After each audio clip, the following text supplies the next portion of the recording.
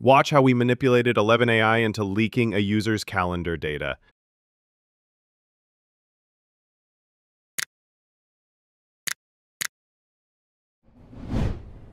Hi, Aryaman Behera. It's 11. Tell me what's next on your list.